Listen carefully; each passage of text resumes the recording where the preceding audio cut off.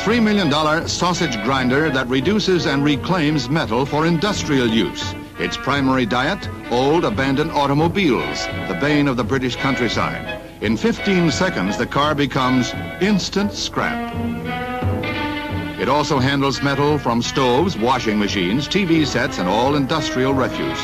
This is the first of four such fragmentation plants to be located throughout England. Up to one million cars a year will be pulverized in them. Reclaimed metal will ultimately become high-quality steel produced at very low cost. Britain's old automobiles become a prime source of supply for the fragmentation plants, an ingenious idea of English industry.